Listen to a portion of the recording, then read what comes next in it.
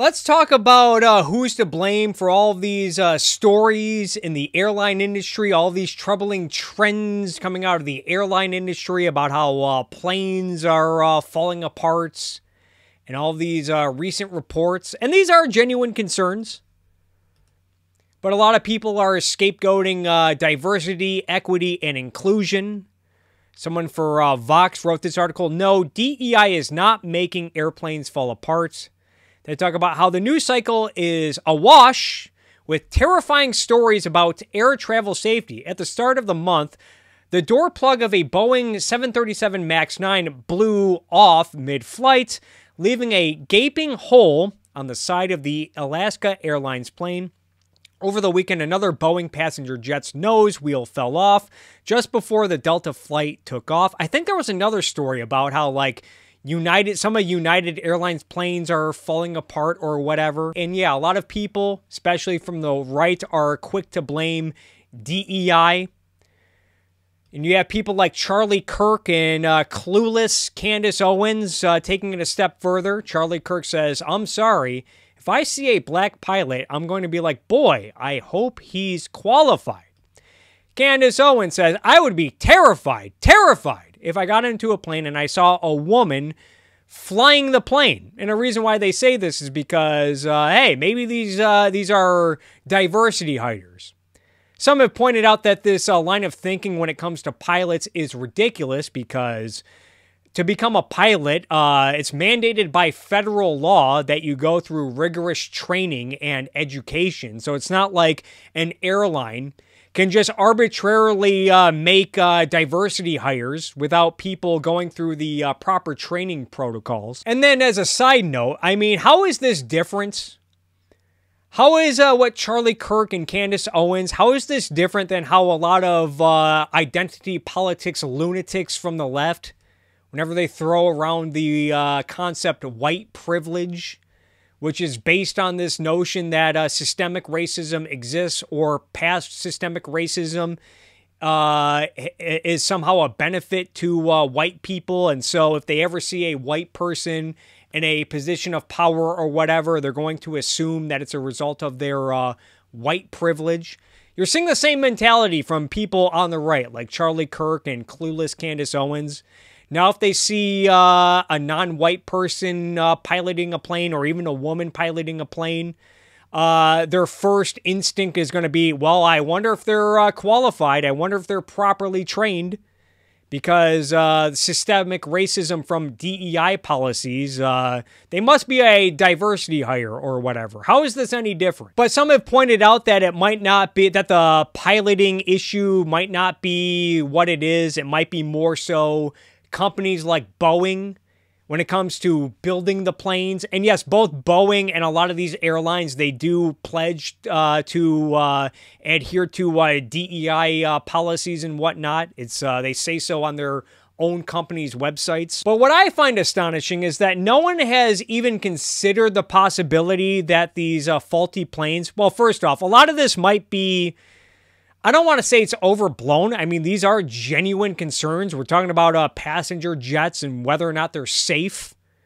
You know, when I get on a plane, I want to know that it's going to take off and land safely and that the pilots are qualified and trained. I would love to uh, be rest assured of that. But first off, all these reports, they might be overblown. I don't know. I'm uh, I'm not ruling out that possibility, but I do find it amazing that no one's considering that this might be a consequence of government corruption, of government intervention, industrial policy that is uh, turned uh, companies like Boeing into somewhat of a monopoly in their various history. I mean, if you even uh, just Google Boeing and uh, monopoly and tariffs and whatnot. There's a long history of Boeing enjoying government favors like tax breaks and subsidies and uh, other favors that uh, lock out, discourage competition, especially from overseas.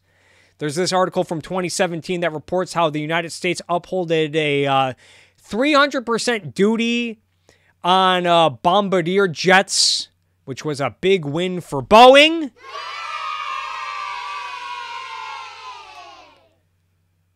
Yeah, jets made uh, by Bombardier. The U.S. Uh, Commerce Department on Wednesday finalized duties of nearly 300% on passenger jets made by Bombardier, a win for Boeing, which lodged a complaint against its Canadian rival.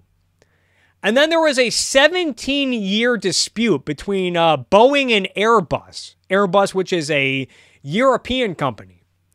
And it was just this uh, constant back and forth. There, there's an article on Reuters that uh, sort of glosses over the details going back to uh, 2004 about all these uh, trade restrictions and subsidies that have been given to Airbus and Boeing, where uh, each uh, company was getting restricted in various parts of the world. I guess it was finally resolved in 2021. And thankfully, one of my favorite economists, Scott Lincicome, finally reported on this, talking about how industrial policy's corruption problem is hiding in plain sight.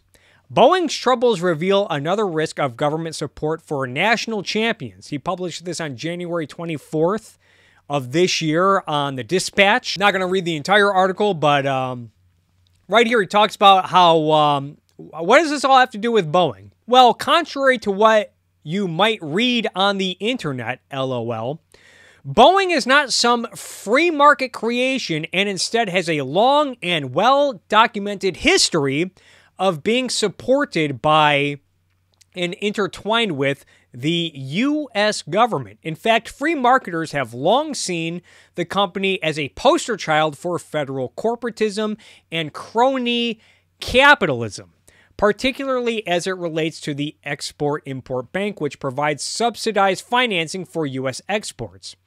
DeRugny provided some of the glory details last year. According to Executive Gov, in 2021, 49% of Boeing's revenue, 23 billion worth, came from the federal government.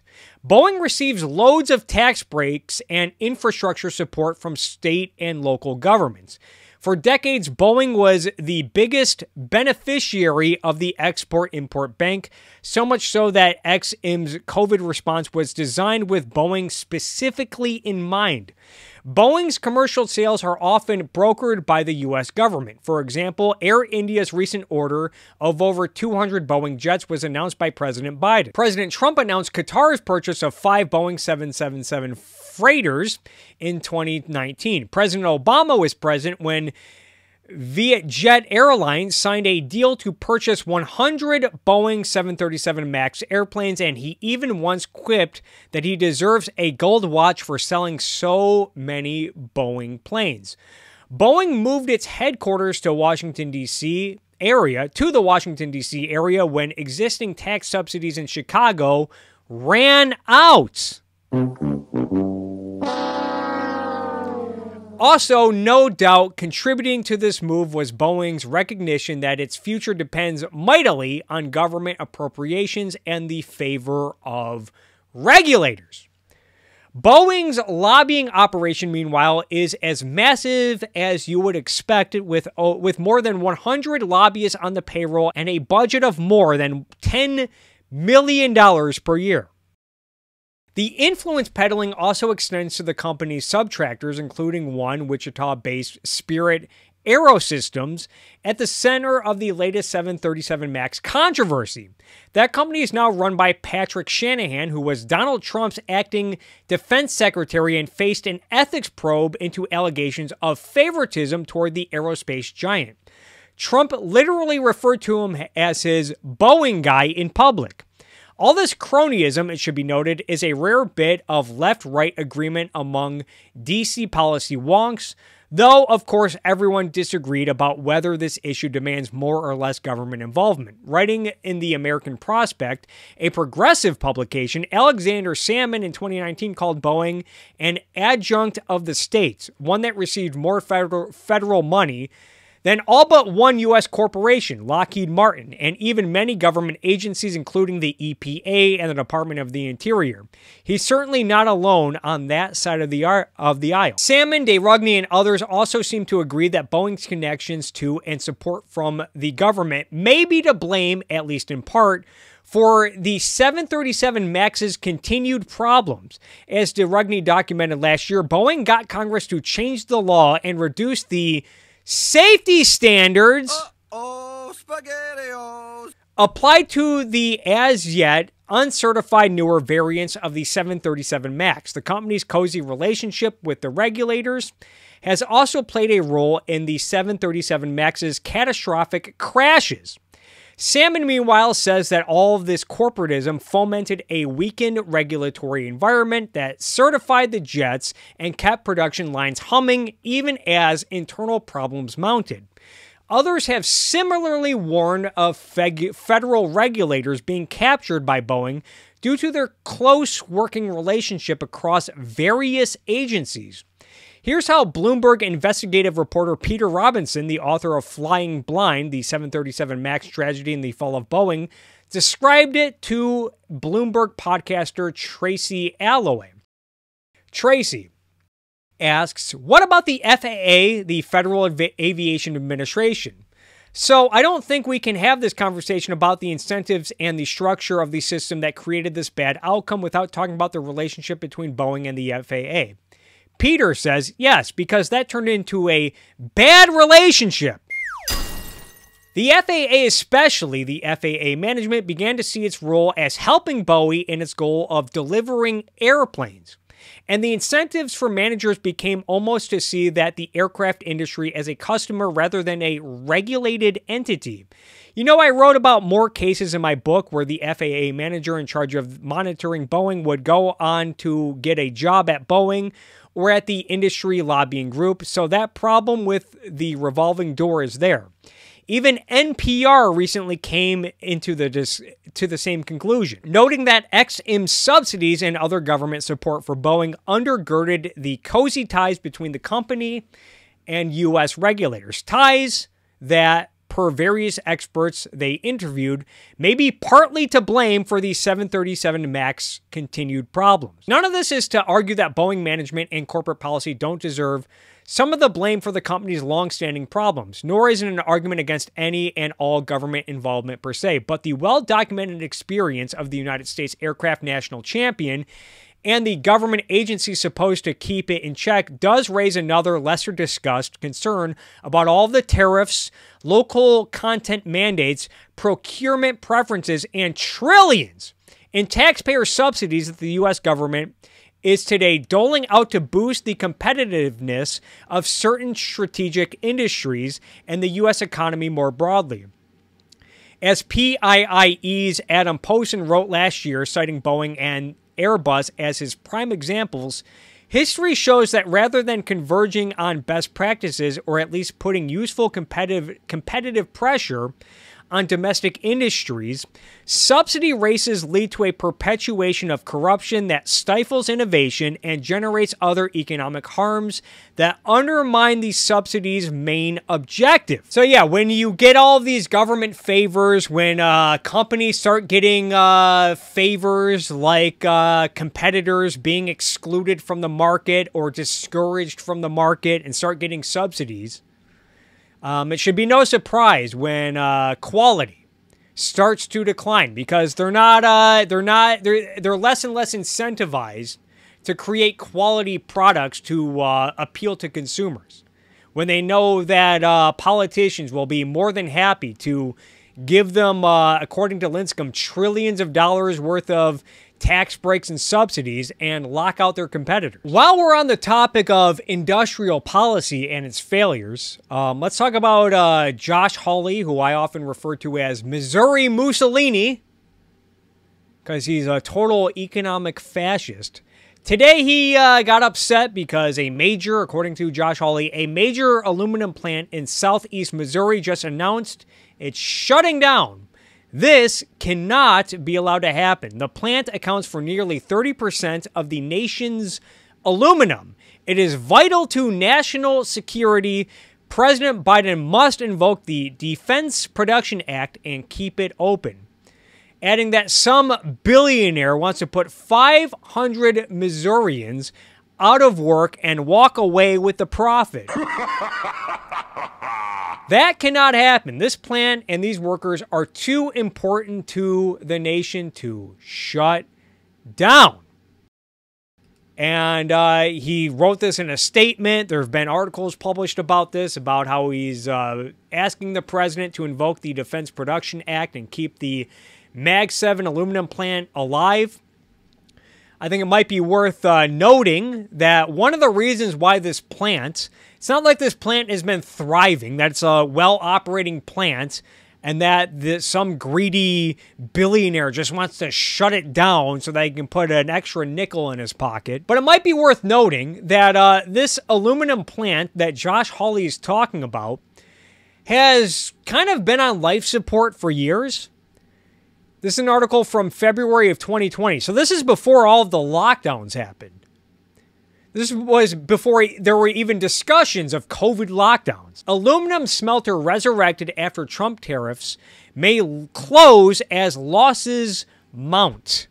Again, it's from February 28th of 2020. A bankrupt aluminum smelter that reopened in 2018. So it reopened in 2018 after the US President Donald Trump imposed tariffs on imported metals. So this plant that's about to close down again, was on life support, and uh, needed government favors to stay alive. American consumers had to pay more for imported metal to save a few hundred jobs. Is losing money at such a rapid clip that it could close within 60 days, the top executive at the Missouri plant said on Thursday. Magnitude 7 aluminum fetches about $1,680 a ton on metals market, down from about $2,100 a year ago. The last time the aluminum plant closed, it was a body blow to the economy and the country's morale or the county's morale. Yeah, it was uh, the county's morale. A bankrupt aluminum smelter that reopened in 2018 after U.S. President Donald Trump imposed tariffs on imported metals is losing money at such a rapid clip that it could close within 60 days. The top executive said Trump's trade policies protect the generic aluminum product made by Magnitude 7 Metals, a 50 year old smelter on the banks of the Mississippi in southeastern Missouri. But the tariffs often do not cover the value added aluminum products being shipped to the United States by foreign competitors, undercutting the company's position. The rest of the world has gamed the tariffs, in our opinion, MAG 7 Metals chief executive Charles Reilly told Reuters in an interview. The Commerce Department tried to help, but it missed the mark. The grim outlook for the plant has been exacerbated by the coronavirus. So I guess the coronavirus might be partly to blame, which is reverberating around the globe while raising fears of a global recession.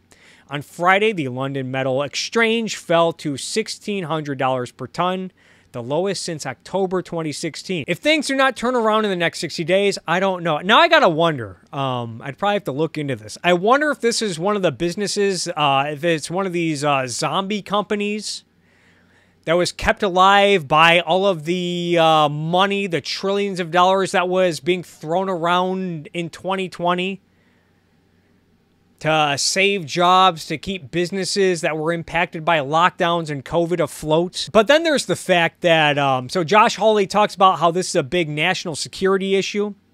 The plant counts for uh, 30% of the aluminum. I saw um, someone on Twitter bring up the fact that a new plant, a new aluminum plant, is being built in Alabama. And this was reported uh, two years ago by the state of Alabama about how uh, Novelis plans to invest $2.5 billion to open Alabama aluminum plant, creating 1,000 jobs. 1,000 jobs. So twice as many jobs as the plant that uh, Josh Hawley is freaking out about. Someone point out, like, it's clearly not a national defense issue if uh, we're getting a new plant in Alabama. It's not like America is just going to run short of aluminum. And Biden has uh, continued this uh, this aluminum policy. This is from 2022. I think I've talked about this before. Call them the Biden Trump tariffs now. U.S. beverage makers and consumers continue to pay for tariffs on aluminum that the president won't lift. Suck! You guys know that. Uh, do I have one here? No, I guess I, I guess I threw it away. Uh, I drink a lot of uh, canned soda. President Biden has rolled back some of Donald Trump's destructive tariffs, but not enough, and they're still doing economic harm. New analyses from Mr. Trump's Section 232 steel and aluminum tariffs show how consumers and manufacturers are still paying for the border taxes that benefit only a few companies. I mean, we got to do it again to keep these uh, aluminum plants alive that have been struggling and on life support for years. And if those favors aren't enough, then just, uh, hey, invoke the uh, Defense Production Act. That will ma- magically uh, save the jobs, I guess. A study by Harbor Aluminum for the Beer Institute finds that the 10% tariff on imported aluminum costs U.S. beverage manufacturers $1.7 billion from March 2018 through August of 2022. About 93% of the 1.7 billion has been pocketed by domestic aluminum producers and smelters in the United States and Canada. Only 120 million has gone to the US government. More than 70% of aluminum in cans is made from recycled scrap metal, which is not subject to the tariffs. Most aluminum imports come from Canada. Canada Again, Canada. You ever criticize the economic impacts of it? Then they just go to China, China, China, China, China, China, China, China, China, China. Yet a lot of these tariffs are imposed on goods that are imported from Canada, which is uh, not an enemy of the United States. Which, since 2019, aside from the brief reversal in 2020, is no longer covered by the Section 232 tariffs. So, beverage manufacturers do not have to pay tariffs on the vast majority of metal that goes into beer and soda cans. Yet the tariffs still increase costs for beverage makers as they let domestic aluminum producers raise prices for U.S. manufacturers that buy the metal. This is what tariffs typically do. By raising the cost of production, tariffs constrain manufacturers who cut jobs and pass costs on to consumers. A recent paper, so again, if we go back to uh, this issue of the aluminum smelter in Missouri, yeah, uh, the tariffs might, uh, they might bring back jobs here and there, but they cost jobs in other areas of the economy. A recent paper from Tax Foundation estimates that repealing the Section 232 tariffs would boost long-run GDP by 0.02% and create about 4,000 jobs.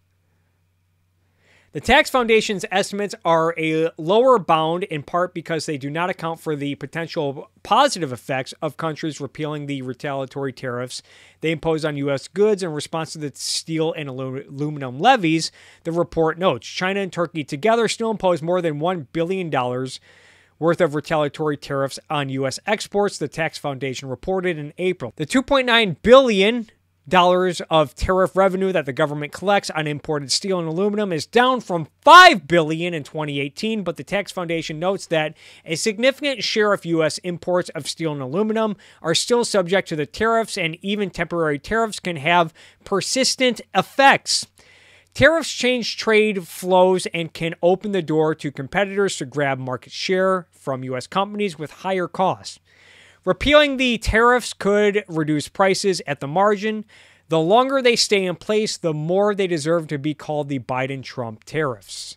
You're goddamn right. And then there's this uh, piece on Reason Magazine. Josh Hawley thinks the White House can force the aluminum plant to stay open.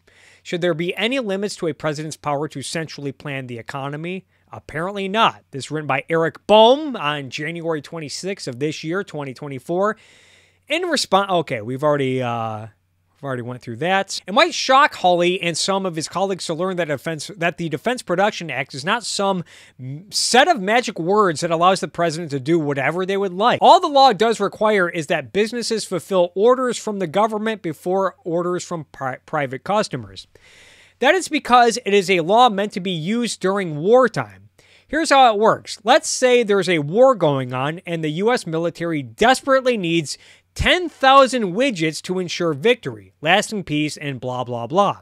The Pentagon sends a guy to the widget factory in Albuquerque to request those 10,000 widgets, but the owner of the factory says the 10,000 widgets sitting on his lot have already been purchased by his friend Bob, and that the government will have to wait until the factory can produce another 10,000 widgets. So come back in two weeks. Ah, but wait, the president just signed an order invoking the Defense Production Act for widgets, so now the guy from the pen- from the Pentagon gets to cut the line. He can buy those 10,000 widgets, and Bob has to wait for the next set to come off the assembly line. That's what the, prevent, the Defense Production Act allows. It cannot conjure up new solar panels or additional supplies of insulation out of thin air. It does not allow the government to put a gun to anyone's head and force them to make baby formula or to keep an aluminum plant smelter running. And that's good. Let's consider for a moment the alternative reality where Hawley apparently resides, a reality where the Defense Production Act somehow gives the sitting president president the power to shape not only whole industries but to direct exactly what products are manufactured in these places. Sure, why shouldn't presidents have the authority to decide how many people are employed in which factories all across the country? No offense, but it sounds like some fucking commie gobbledygook. Once, I might have asked a different rhetorical question about whether conservatives would want to live in a country where the president had such immense powers over the markets. But it is now increasingly apparent that many of them do. Oh, you absolutely suck! That's a seriously toxic problem in our politics right now. Large portions of both major parties are committed to the idea that more central planning and a more powerful chief executive would benefit the country economically. And that's why there is so much chatter about the Defense Production Act and why the federal government is wasting so much money on other centrally planned boondoggles. Hawley's call for more government intervention to protect aluminum manufacturing jobs should also spur some reflection about the last major government intervention that was supposed to protect aluminum manufacturing jobs. Remember those 10% tariffs on imported aluminum? Oh, here we go. Imposed by then President Donald Trump in 2018. That was naked protectionism. By the way, again, it's worth reminding that Donald Trump is running on increasing uh, tariffs by 10% more across the board. Just in case anyone is still under the illusion that all this protectionism is all about uh, protecting America from China, China, China, China, China, China, China, China, China, China. Blow it out your ass. That was naked protectionism, and the announced closure of this Missouri smelter seems like pretty good evidence that it failed. Yeah, like I've been saying. There's other evidence too. As Hawley points out in his letter, this is the third aluminum smelter in the U.S. to announce plans to downsize in the recent months. Unfortunately, the failures of protection of protectionism only seem to spur calls for more protectionism. Finally, let's address the idea that American national security is somehow weakened by the closure of a single aluminum plant that employs 400 people. In some ways, this is the crux of Hawley's argument for, feder- for the federal government to get involved. In that letter to the White House, he wrote that the impending shutdown of the smelter will also materially degrade our defense posture, as the DoD has deemed aluminum a strategic material interest. It's true that the United States does not produce enough aluminum to meet its annual demand, which is why we imported 5.9 million metric tons of it in 2022. But here's the good news there is plenty of aluminum available on the global market. And there would be more if the Biden administration lifted those tariffs. In 2022, more than 41% of the uh, aluminum imported into the United States from Canada and Mexico. Canada and Mexico. Again, guys, China, China, China, China, China, China, China. Hardly places that are likely to cut off trade in the event of a war. South Korea and Australia, also close U.S. allies, are the fastest growing suppliers of aluminum to the United States. It is, of course, unfortunate that the closing of this aluminum smelter means about 400 workers will be out of a job. Hopefully, they will quickly find others. Well, you know what would make it easier for them to find others is if we uh, lifted a lot of these bullshit ass trade restrictions and reduced these tariffs and uh, just ended all of these buy American uh, policies. As I have illustrated before, this has had pernicious impacts in uh, infrastructure. Delayed infrastructure projects means uh, delayed job opportunities for blue collar workers. means delayed enjoyment of said infrastructure, raises the cost of the infrastructure. Tragic as it might be in the short term, this is the sort of thing that happens all the time in a in healthy economic systems where resources including labor are constantly in flux. The idea that the closure of a single aluminum plant is a national security crisis that should require a direct intervention of the White House is frankly insane.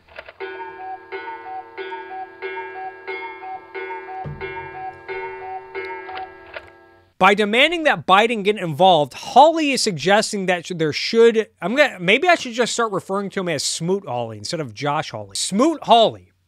You guys, remember the Smoot Hawley tariff during the Great Depression? Herbert Hoover, the uh, the businessman turned politician, decided to run for president, and then when the economy went to shit he tried to uh, intervene in the economy by imposing tariffs, which uh, had a disastrous impact on the economy. It was called the Smoot Hawley tariff. Hawley is suggesting that there should be effectively no limits to a president's power to intervene in the economy, exactly the sort of unchecked expansion of executive power that Republicans used to understand would be dangerous and counterproductive.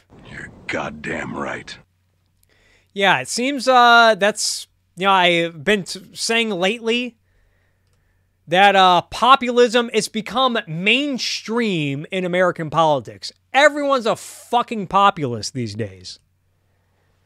And likewise, um, economic intervention, central planning, economic planning is becoming more mainstream, including amongst uh, Republicans.